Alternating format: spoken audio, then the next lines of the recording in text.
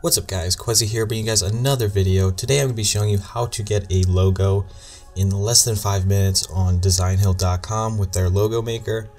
Now this is not free, but it is a quick way to get a logo and it's one of the most commonly asked things people uh, DM me or message me about is um, to for me to make them a logo and it's something I do occasionally but I'm not the best at it so this is actually a website for professional logos that you can um, see a ton of options, see um, a bunch of colorways, choose the ones you like, customize them, etc, etc.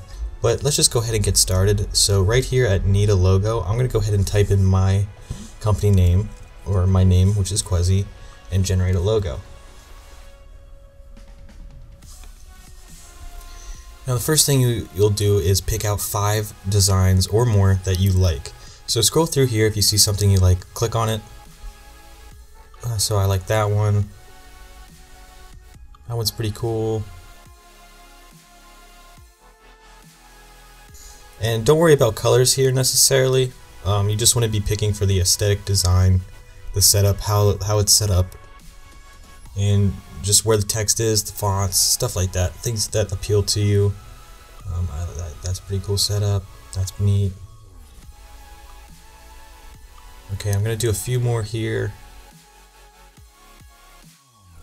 And oh, that one. All right, so I picked a few that I liked, so I'm gonna go ahead and hit continue. Now we're here at the colors. So if you already know your color scheme, obviously you can go ahead and pick that color or colors. Um, if you're not sure, you can come into the middle and just let the system choose. And you'll get to look at a bunch of different colors anyway. When you select your logo, um, there'll be, or if you select a logo you like, there'll be other options for color that you can look at um, after you select it.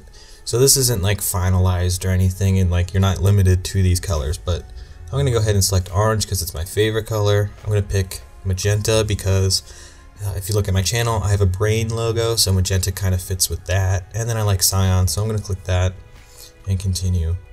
And you can see we have more information to add here. So you can edit your name here, and that's the name that will be on the logo. So if um, you like type your company name in, but on the logo you want less text, you can come here and delete it or whatever, add more. You can also type in a slogan. You can also add a slogan later if you'd like to wait um, I'm going to type in mastermind because that's sort of my nickname.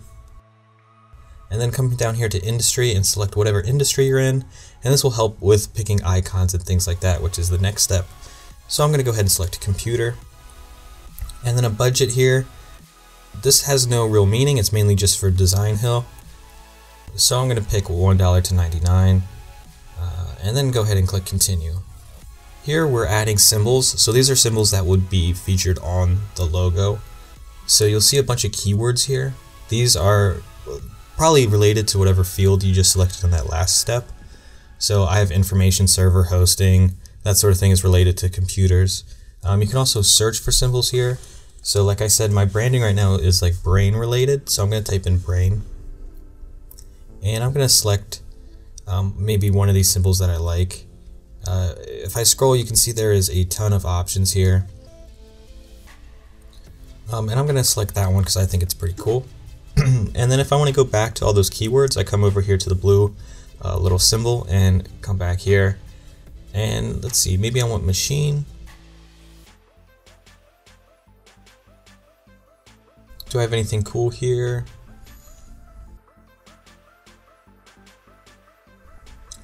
I like a gear.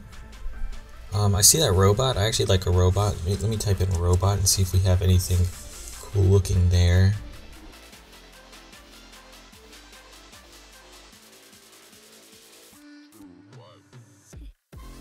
I actually like this little guy here. I'm going to click that one. And I'm going to go back to my keywords. Let's do laptop. I'm going to select a laptop. I'm going to go back again.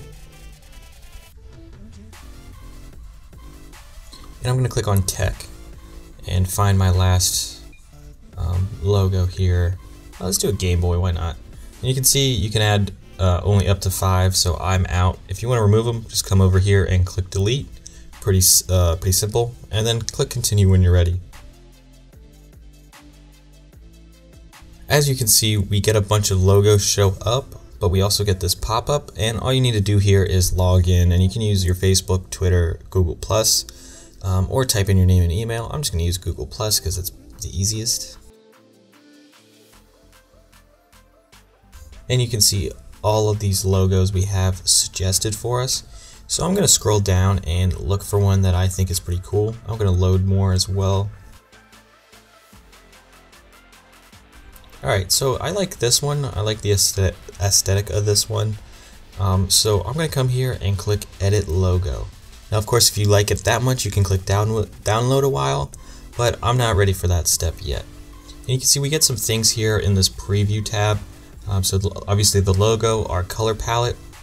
And if we scroll down, we'll see a bunch of mock-ups with the logo on different products and signs and things like that.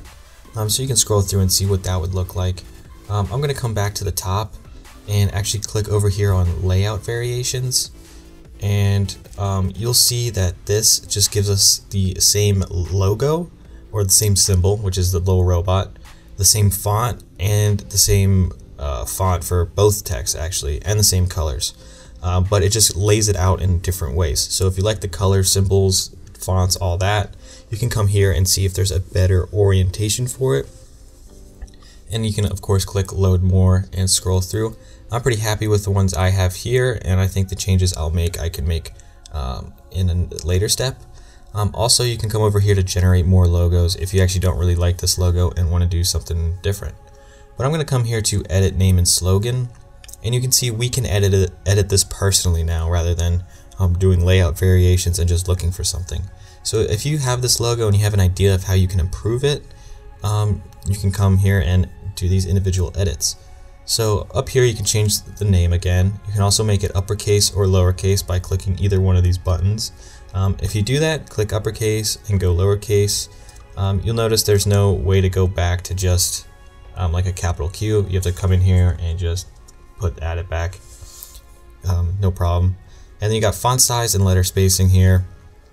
So you can space out the text if you want a little more room there. Um, I'm going to bring mine I'm going to actually increase mine slightly. It was at 1. I'm going to go to 2.5. And the font size, obviously you can increase and decrease. I like mine at 72. Um, they're usually pretty good with the font and letter spacings for the main text. Subtext, um, maybe a little different. Um, then you can come over here and change company name fonts. So you'll see there's a bunch of categories here at the top and you can go through those categories. I'm on Bubbly right now, which kind of fits this robot logo. Um, a more bubbly font would make sense. But if you're a more serious company, maybe you want to go sans serif, um, find something simple, or serif even. Also futuristic, since I'm computer, maybe a futuristic uh, font would make sense, along with the monospace. And obviously you have handwritten, calligraphy, display, funky, it just pick whatever um, you'd want um, if there's a certain idea or aesthetic that you're going for. Um, for me, I'm happy with the font that was selected for me, so I'm not going to really go into depth on that. I'm not going to change it. You can also come here to edit slogan, and it's the same as the uh, company name with the edits, although you do have a text distance, which can move that text closer to the main text. Um, I'm going to move mine to about 35. If it wants to go to 35, there we go. And I'm going to come here to change slogan fonts. Now, I'm not 100% sold on the font I have. I'm going to go to sans serif actually and see if I can find one a little better. And personally, I like this, one of these two. We'll go with this one. This one's a little more interesting. And I'm going to click update to this. And that'll just update that font. And now I want this to be a little smaller, so I'm going to decrease the size a little bit. And then move my text a little closer you can see we have some overlap, so I'm going to decrease the letter spacing. And then I'm going to move that back up. And I think that's pretty cool. I'm okay with that. Now we can go to edit colors for all of these elements. So if you're not sold on your color um, that was selected for you, you can come here. If you want to see completely different color variations, obviously click color variations. Scroll through, there's a ton. I'm not going to go through a lot here, but you can see like this is all the oranges and stuff, and I'm not even out of the oranges yet. It just keeps going. So keep going, or you can keep scrolling through there. Um, you can also come here and click one of these colors, so maybe yellow, and scroll through, and uh, you'll see a bunch of different yellow color schemes. Um, and you can do that with all the colors. And if you like one, you just click update to this, obviously. Um, you can also click here at multiple color, and that's like a similar thing to the color variations, but it includes a few more colors. And you can individually edit different things. So if I want the background color to be different, I can click background and maybe I want it to be black. I can come here, click black, see all the different shades. Um, so obviously black, there's not a lot of shades, it's just grays, and this one has a little bit of red in it. But you can do that for any of the colors and any of these individual parts. Again, I'm pretty happy with my color uh, palette. Um, I might actually just come here and change the background to maybe an orange, because like I said, orange is my favorite color, and I think orange would work here. And I'm going to do this orange here. And I'm just going to click update to this and boom, it's updated. Super easy. Um, now, um, if we go here to symbol, we can edit the symbol itself. And you'll see four options here and they're pretty self-explanatory. So the above option is what I have currently with the symbol above the text. And then I can move it to the left. You can see it's like that, to the right, and then below but I'm going to leave it up top because I think that's the best look for this layout. And then I can also change the symbol size if I want it to be slightly smaller, maybe a little bigger. Um, I like 100. And then again, the symbol distance, how close it, the symbol is to the text. Um, I just want a little space, like yeah, maybe a little more, like that. And then of course right here you can come and change the symbol. So if I click that, you can see we have a search and it automatically searches tech. Um, I think that's because it was my last search.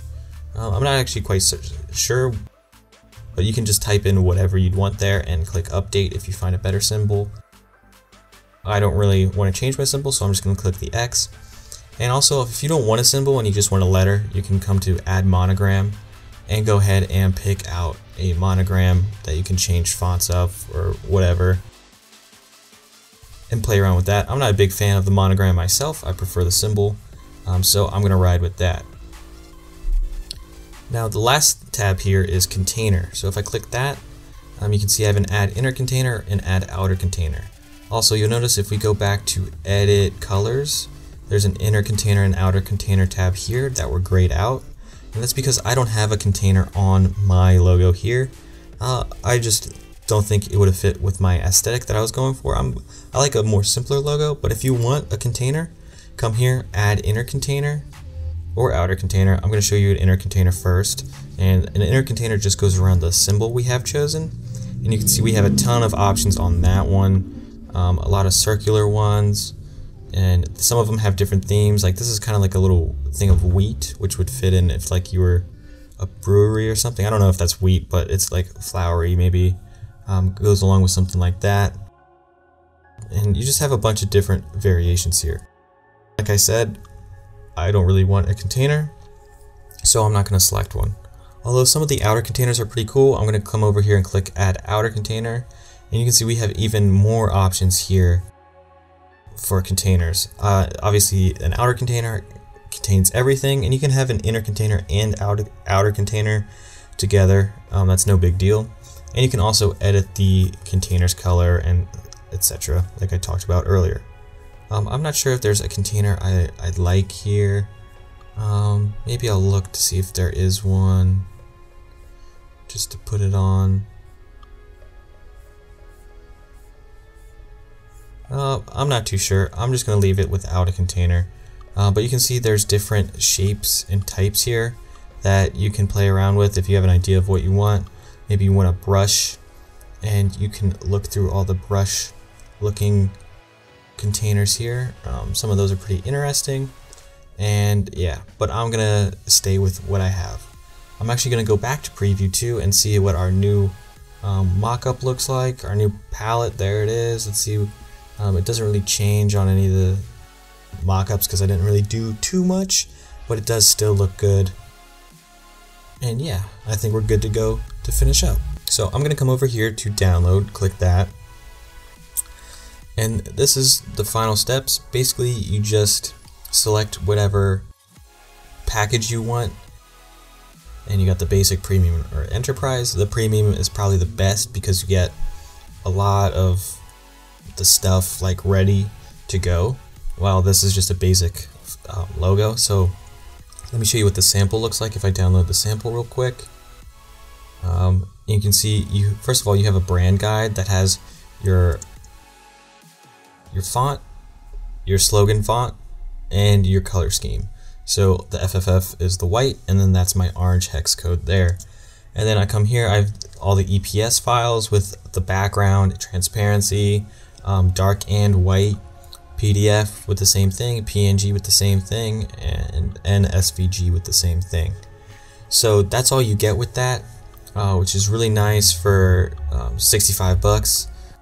Uh, also, you have these add-ons that you can add for uh, $30. There's three of them. Uh, there's a business card design, which you will get three business card des uh, design concepts that you can uh, add on if that's something you're looking for. Also, letterhead design, and again, three letterhead design concepts um, that incorporate your logo. And then um, a third one, which is a t shirt design, uh, which is three t shirt design concepts. So, those are some add ons you can uh, tack on to the logo design. So if that's something you're looking for, you can just go ahead and click add. Um, and then if you add it and you don't want it, you can go ahead and click remove. Pretty simple. And that is this video, guys. Hopefully you enjoyed. If you did, please leave a like. Uh, be sure to check out this website down below. Thank you for Designhill for sponsoring this video, obviously. And I will see you guys in the next one. Peace.